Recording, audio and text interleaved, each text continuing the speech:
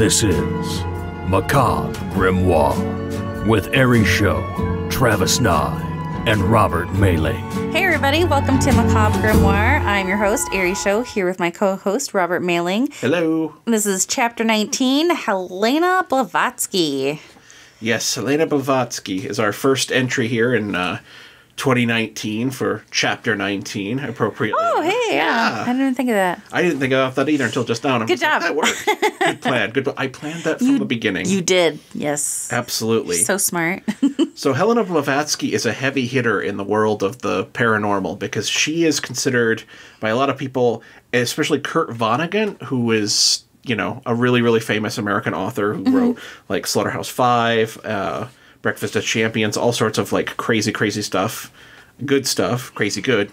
Uh, she is the he called her the mother of the occult in America. That's pretty intense. Yeah, that's quite the distinction, especially from him because he's a very like critical guy. Yeah. So it's just like, and maybe he didn't mean that as a compliment. I don't know. But, Yeah, probably not. probably not. Yeah. No, I, have never even heard of him either. But uh, Hel- Helena Blavatsky is one of the most controversial figures we've covered so far. She's been called a witch, a prophet, a medium, a hack, a sorceress, a fraud, and everything in between. If you're from the West and you practice yoga, you can thank the legacy of her cultural influence. Oh, interesting. Yeah. That she kind of influenced yoga somehow. Well, we will. We We'll will get into that, as we yeah. get into her story a little bit. But yeah, she everything from like, you know, spiritualism, like Fox Sisters style spiritualism, Right. to kind of like mo- new age modern religion stuff and its answers tra- tradi- to traditional religion, Mm-hmm. and then a lot of uh, Eastern influence that comes Oh. in that was not con- that was not common in the West. Like today, we take it for granted that you know, like when we talk about spiritualism in a secular sense, not in a like religious sense. Oh, sure. That we will offhand use a comment like karma or something like that that's in the Oh. popular culture, Yeah, and we're not saying it in a religious sense. Right. She's a big part of. She opened that door. Oh, thanks, Helena. Yeah. So, born in August of 1831 uh, to an ethnic Russian German aristocratic family, Blavatsky grew up t- on the crossroads of the Eastern and Western cultures, mixing the elite European intelligentsia world view of her parents with the Eastern folklore and magic of rural Russia.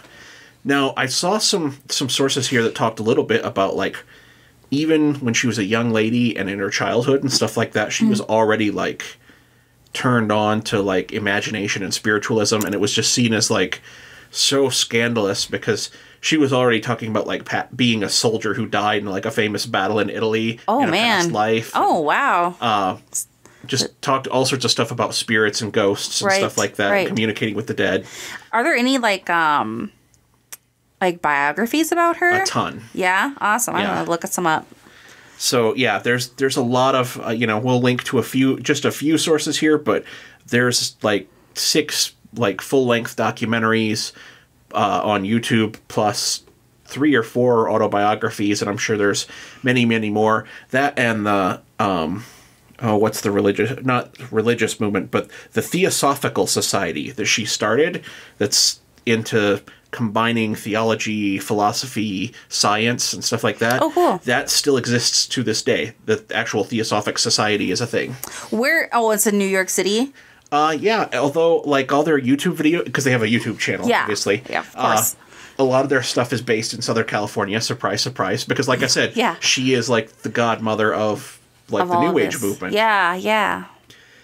So let's see. So she probably grew out her armpit hair before it was cool. Oh yeah. well, I think she came from the era where and region. We're talking Eastern Europe Right. in the 1830s. I'm guessing it was cool that it, I think it was at that time, yeah, yeah. Going on. So let's see. Largely self-educated, she developed an interest in Western uh, esotericism uh, during her teenage years. Which, yeah, one of the documentaries I saw talked a lot about. Uh, that was one of the other things that was scandalous, but her parents didn't care.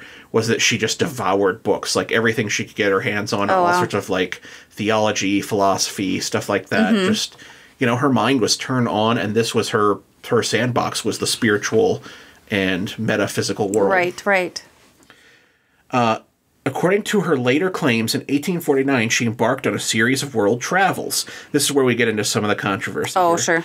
Visiting Europe, the Americas, and India, claiming that during that uh, period, she encountered a group of spiritual adepts called the Masters of Ancient Wisdom. We'll talk a, lot, a little bit about this later on, but this this stuff gets like high weirdness. Oh, sure.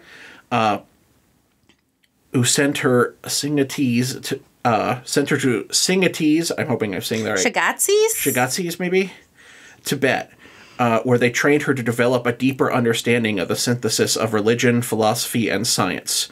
So, in the title here, we called her the real life Doctor Strange. Mm-hmm. That whole trope in TV shows and old comic, even like Scrooge McDuck comic books from the Oh, 30s sure, and stuff yeah, like yeah. that, where or in Indiana Jones, where they go to Tibet and they go to like, Oh. oh, there's a hidden Shaolin city in the mountains where they have secret knowledge. Right. Uh, Iron Fist, Marvel's Iron Fist, that whole trope. Mm-hmm.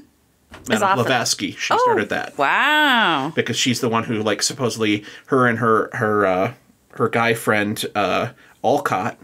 Um, we'll talk about it later. Oh, sure. Uh, the two of them supposedly, but this is where the controversy is because a lot of people claim and, and a lot of historians agree that actually they were just hanging out in E- Eastern Europe at the time and researching. Sure. They, didn't, they say they go, but that they didn't actually go to some of these places. oh, okay. They do eventually go to India Yeah. because there's a whole thing where we'll get into how her effect on colonialism and stuff Oh, like that. sure, sure, sure. But uh, yeah, th- this point where she's talking about the like ancient masters and stuff like that, and there are people during this time who claim that she could like when she was communicating with them and writing her her first big book, which is uh, oh, what is that called? It's Isis Rising or something like that, which. Uh, Nowadays, it, out of context, sounds pretty terrible. Oh, God. I, yeah. Well, I don't see it here. Oh, this is gonna drive me nuts. It's probably in some. It's probably in the Wikipedia article, maybe. Yeah, probably. But uh, anyway, but before we get into uh, that, let's talk a little bit about you know she gets into the ancient masters, who she claims like and Olcott even he was with her when she's writing this this book. Um, is claiming that there's like spiritual energy flowing through her and that it's not just her writing it. And so their claim was there, and they even named them and had portraits of them. And Oh, it's almost that. like her spiritual guides or whatever. Yeah, th- are, there's these like, two spiritual gurus who are sitting in Tibet somewhere who are helping guide her to write this. Oh, uh, interesting. account. That's that's a different way. That that's completely different than what I was thinking of. You're saying that there's actually two peop- two physical people in a different country that she's channeling. Whereas I was thinking like she's channeling her spirit guides, and then the spirit guides are writing the book because like I've But they, the way she talks about them and stuff, Mm-hmm. is that they are kind of like not. They're more than human, like spirit guides, oh and they would even like illustrate them and stuff like that. I'm looking for the Wikipedia page here. Doesn't have pictures of them, but uh, yeah. but they were physical people alive, That was the that was the claim that they were living physical people, but that they were also like spiritual beings. yeah. Oh, like, interesting. Basically, like superpowered. Sure, Basically. sure. Because they were just such high mystics and stuff like that. Yeah. The I mean the the name for them that she used was that they were the uh, um the masters of ancient wisdom, and they were like Oh. of, part of a secret. Oh, I bet they are. like I bet that. they are. Because I I went through a period where I was obsessed If with. you look at this little picture right here, Yeah. those two drawings, those are of the two guys she claims that were in Tibet who were guiding her hand. oh, interesting. yeah. Um, but you know, I, what I was going to say is that um, I w- went through a period um, during my development, my psychic development, where I was obsessed with um, trying to figure out who my spirit guides were,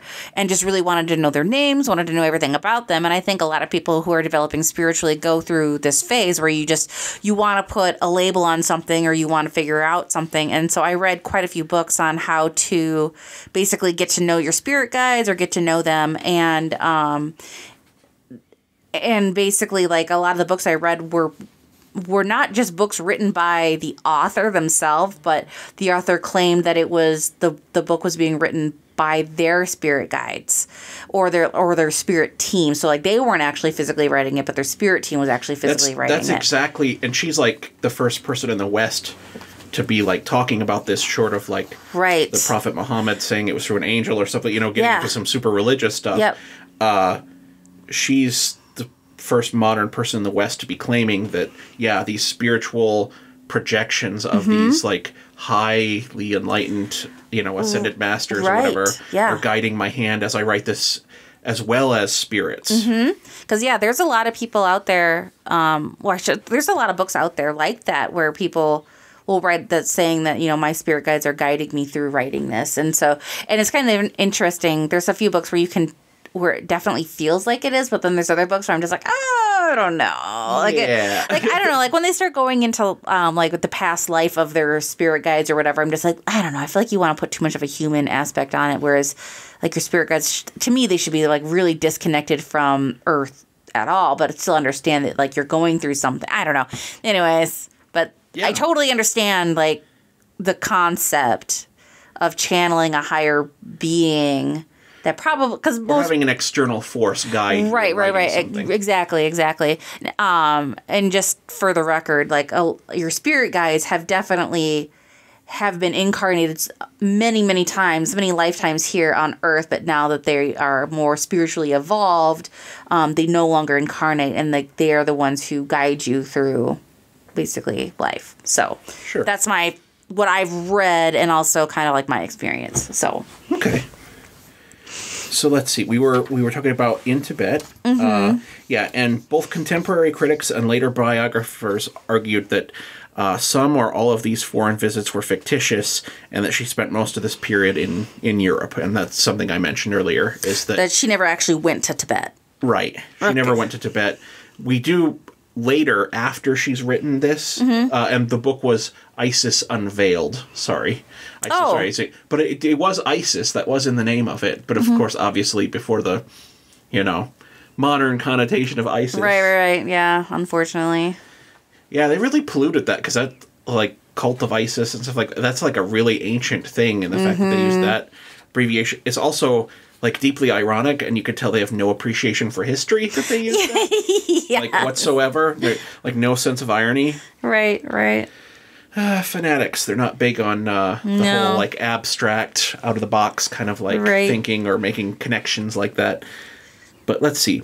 By the early 1870s, Blavatsky was involved in the spiritualist movement because it at one so she starts in in Europe and she marries like Helena uh, Blavats, Blavatsky is not her original last name. She marries a guy uh, and then gets the last name Blavatsky Oh. and travels, I believe, with him.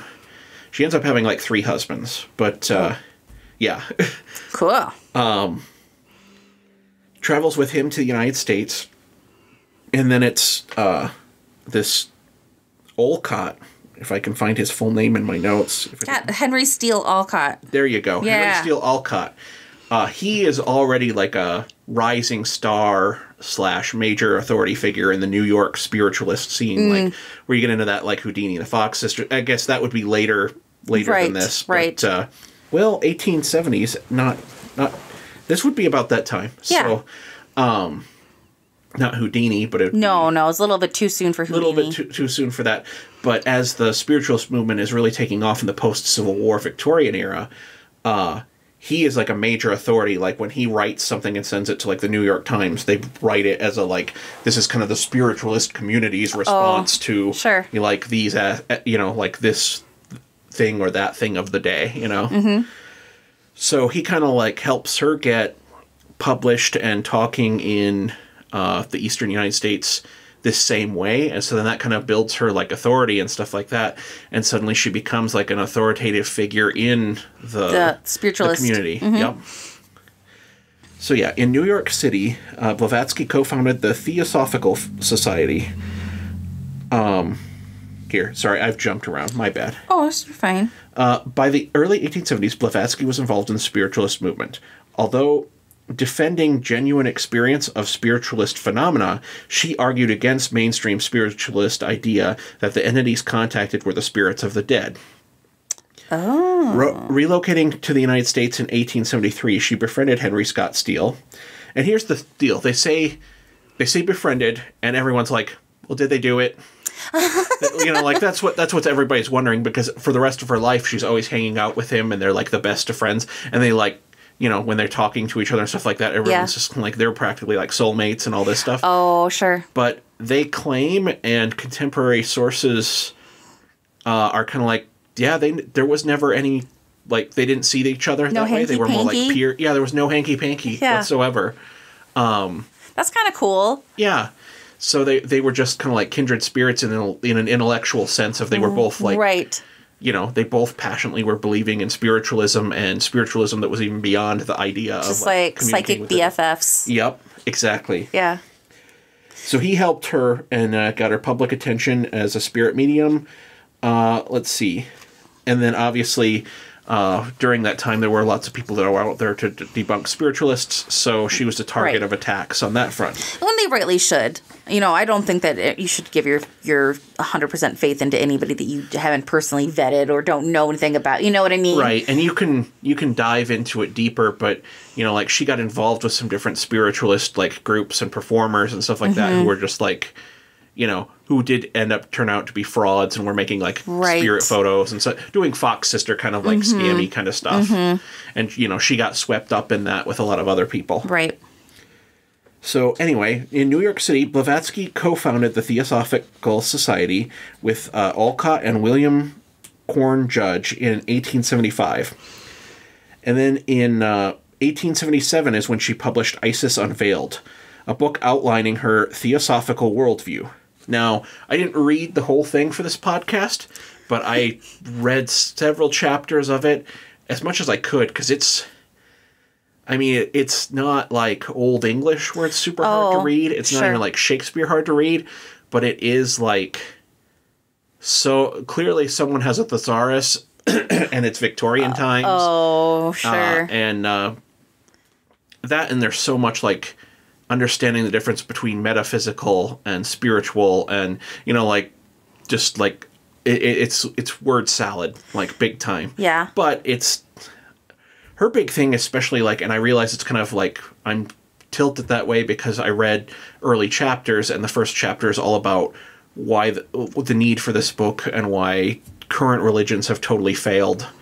I mean, there's even like dollar amounts of like the pro, you know, it's like the Protestant um, churches in America have raised fifty-three million dollars this year, blah blah blah. Which it'd be funny to know what that number is like nowadays, oh my God. uh, or what that is adjusted for inflation Jesus. from the eighteen seventies. Yeah. And anyway, uh, you know, talking about how much money they've raised, but they can't fill a spiritual need in the community and things like that. And they it's talking about how you know spiritualism and sci- especially science has completely. It gets into a very like, uh, she doesn't. She's not Nietzsche. Just she doesn't go God is dead, Right. But kind of in a mm-hmm. sense of like the old religions are dead and they're not adapting and don't work for this modern world. Oh yeah. the yeah. 1870s. Right. Yeah. So modern. But yeah, the, I was surprised how much it was almost like a as like a political and theological like I want to say religious, but not in a spiritual sense, purely in a like theocratic right. Right. sense. It was. Mm-hmm. So there's a lot of that in there. Um, and yeah, it, it- here's here's a good comment I found about it. It, it associ- uh, the book outlining her theosophical worldview, associating it closely with the esoteric themes of Hermeticism and Neopo- Neoplat. Neoplantos plant plantonism. Okay, yeah, I'm glad I'm not the only one baffled by that word. But here's the quote I was trying to make my way to. Uh, Blavatsky described theosophy as the synthesis of science, religion, and philosophy. Which, yeah, when you read the book, she's that's part of why it's word salad is because she's trying to com- cram together the science of the you know the early scientific revolution, where they're just like Right. you know all the low hanging fruit is starting to get picked up. So it's like electricity, motors, Oh. stuff like that. Uh, just understanding So maybe like how quantum physics actually relates to the spiritual world and like you know Yeah. and and how the spiritual world can relate to the And- religion world and how it's all kind of maybe one thing. Yeah. Yeah. And, and trying to like kind of put them. Well, you know, I, I read a book over the break that mm-hmm. was all about how closely related science and mysticism are, as far as like there was not a hard line between them until about this time. Oh, sure, sure, sure. The whole idea that there's like a hard separation is like a, you know, is a very, very modern concept because it's like even in the 1870s and 1890s, uh, and we've talked about this before, there'd be, you know, chemists would do chemistry demonstrations Mm-hmm. and they it would be like a sold out ticket event in a little amphitheater at a, like a medical college or something Right, like that. yeah. And p- people would ooh and ah, and it would just be like, you know, it's like they didn't have TV back then. Right. Yeah, that's so- true. That's fair. so, and especially with the educated classes and stuff like that, Mm-hmm. They were super fascinated in this. And there's just like the whole world was opening up to us like, wow, imagine all these new chemicals and all these new sciences and optics and physics and things Right. like that. Right. So it's just a scientific explosion. Uh, but anyway, they weren't always so weren't separated, and Right. uh, she's really a product of that kind of thinking, where you know she basically sees spiritualism as a type of science. Oh, sure. I can get on board with that. In 1880, she and Olcott moved to India, where the society was allied with Arya Samaj, a Hindu re- reform movement. That same year, while while in Ceylon, she and Olcott became supposedly the first people from the United States to formal, formally convert to Buddhism.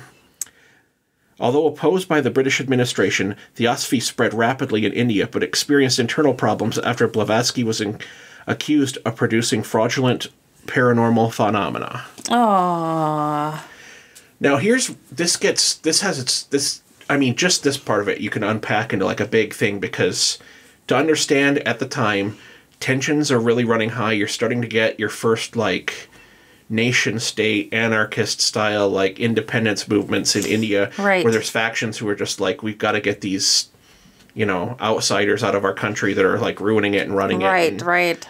Um, Meanwhile, the British Empire is still still in. They're not in the friendly empire phase. They're in the still in the ruthless. Like, oh, you published a pamphlet about how you don't like us beating people up. We're gonna beat you up. Yeah, yeah.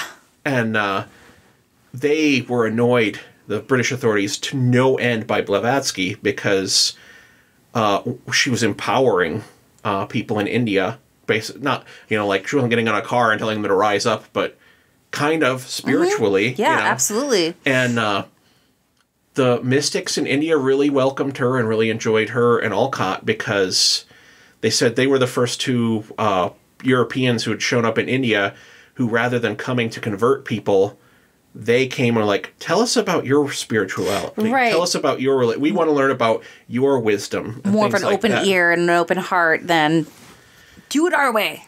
Yeah, and you know, I, I take this with a little bit of grain of salt, but this could be just the era we live in because I don't want to buy into the whole like white savior thing where she was like, you know, this white white person that showed up and helped India rediscover its Oh, own religion. sure. I don't How, yeah. However, um, you know, there's contemporary sources, Indian contemporary Oh. sources, who are very like, you know, she was a strong positive influence in us starting to take our own religion seriously again because after being under British rule for, you know, umpteen hundred years or whatever, Yeah. uh, the upper classes in India were even just kind of like, well, Hinduism, uh, you know, and Buddhism are these like those are the peasant religions and stuff like that. It's like if you want to be, uh, you know, socially upwardly mobile, you're you're going to be into Christianity and Yeah. stuff like that, and you know that that whole cultural Oh, divide yeah, you get when a society is being controlled from above uh, by a foreign outside source, and she kind of gives them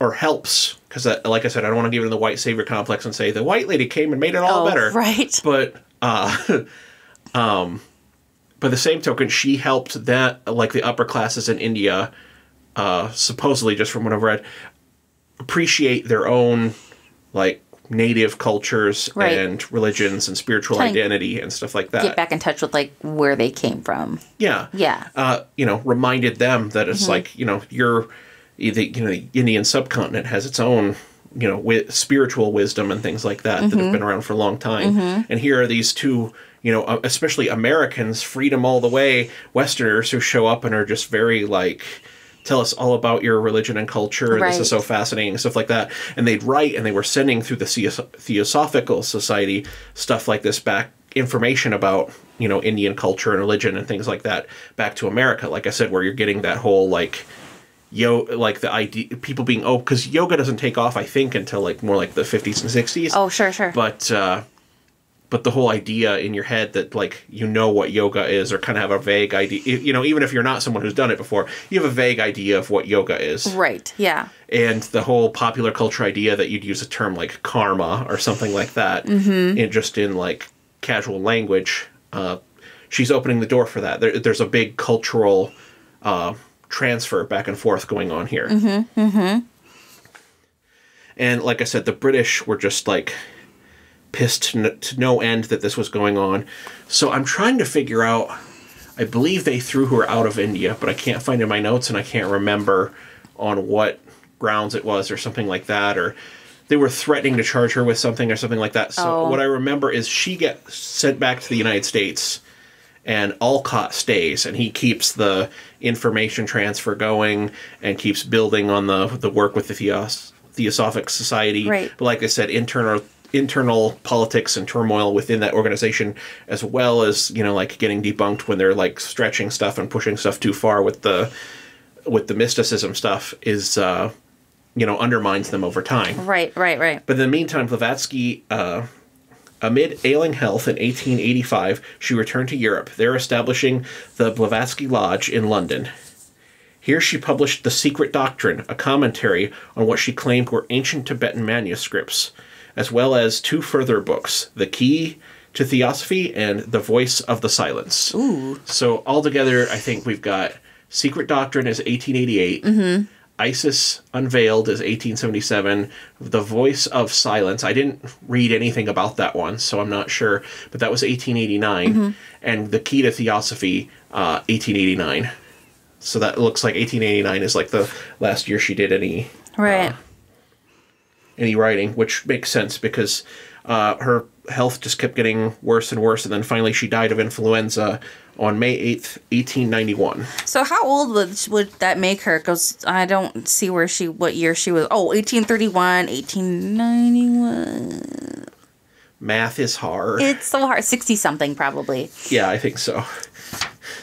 60? This is thrilling radio. It's Yeah, types we're gonna see. years. Type it in. Do it. 1891 minus 1831. It's probably 60.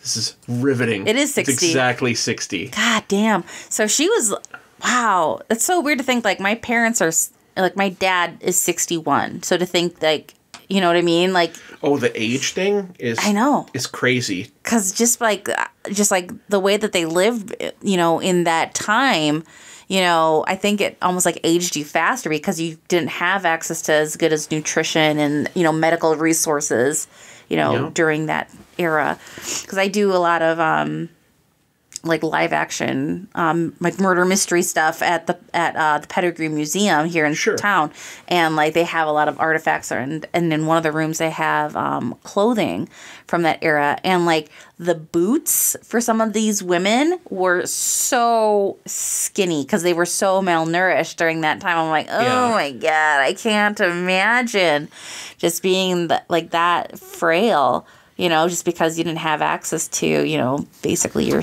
what seven food groups six i don't is it seven Yeah. i don't know I don't know. It's a food pyramid. It's a food pyramid It's now. a hybrid pyramid because they got rid of the food pyramid from when I was growing up. That the giant block of carbs at the bottom. Yeah. It was like the number one thing you're Yeah. supposed to eat. Not supposed to do that anymore, which sucks because that's why I love carbs so much. i know and i'm No, I just love carbs because I love carbs. I don't love like- carbs too, but I'm allergic to the wheat carbs. Oh, okay. I know. I just got. That sucks. I just figured that out, which so fucking sucks. But, but I mean, I can have taters and stuff like that. So I'm not allergic to those kind of carbs.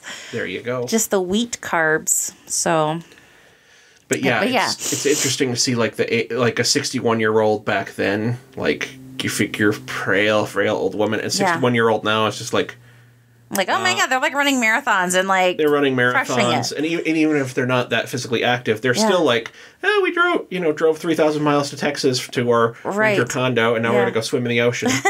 AKA my parents right now. right because i know like um i had i had a great great grandfather who passed away in his 60s in the early 1900s or so um also like 1920s or 30s. I don't know. Anyways, but either way, like you know, like 60. That was probably like our- equivalent of like the 80s and like being like in your 80s or 90s probably. Yeah. So because that f- that 50 is the new 40 kind of like thing that started in like the 80s. Yes. Like that's very much like it's totally based on an individual's experience of health because you know, not all 60 to 70 year olds etc are created equal. right an experience right at all. exactly exactly. So yeah, well, that's an interesting.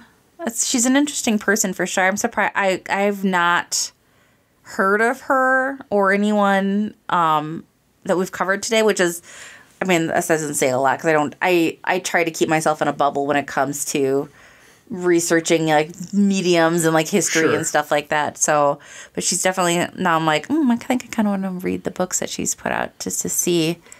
Like I said, I I don't I can't speak for the other ones, but Isis Unveiled is very like It's thick. it's yeah, it's not that long. It's just very de- yeah, like you said, Dense, thick. yeah. It's dense.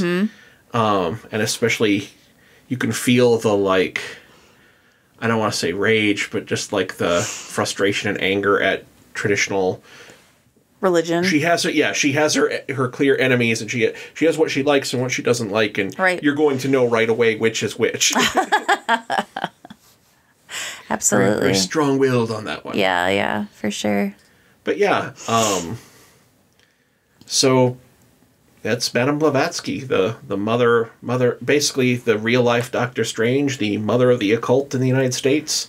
Uh and yeah, originator of yoga. Not Yeah. like I think yoga I want we'll look into this, but I think at some point like in the 50s or 60s there was like a movement that that really brought that over and really had Oh, like kick off. like, but popularized it. Yeah. but she's a big part of the like cultural exchange of us knowing things like, Like that, that. Mm-hmm. yoga exists or the and like I said, the trope that is just in absolutely not just Doctor Strange, but in absolutely every like piece of Indiana Jones style adventure comic book radio serial from the 30s fiction of the going to Tibet and finding a secret city with secret knowledge. Oh, sure. uh, the ancient ascended masters Right. and Iron Fist and Kung Lao and all this stuff. A thousand percent Madame Blavatsky. That all goes. That's- That's all on her. Yeah, it's of course it was started by a woman. Of course a woman did it, and a man has to take credit for it. I don't know. That's, just, that's my joke, kind of. I don't know. so there you go. Uh, thank you everyone once again for listening to Macabre Grimoire. Feels good to be back. Yes, finally. Ugh. Yes, it, it is. It has been a difficult winter, but we we are back and uh, to entertain you with more tales of the strange and the weird, and hopefully we'll get our uh, expert magician back in here for the next round. Yeah. It, like we said, the winter's been intense and busy, and he's I think he's the busiest of both of us probably based on Right now. seen. Yeah, yeah. Yeah. Absolutely. So, Uh, anyway, thank you very much for listening, uh, and we will see you all next time. bye.